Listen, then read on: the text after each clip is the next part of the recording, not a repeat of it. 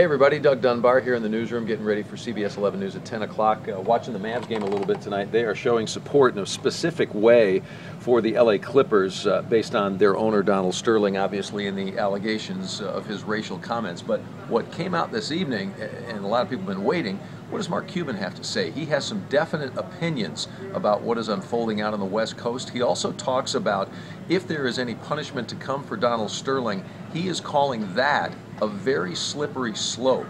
We'll let Mark Cuban explain exactly what he means. Join us for his comments and much more tonight when we see you for CBS 11 News at 10 o'clock.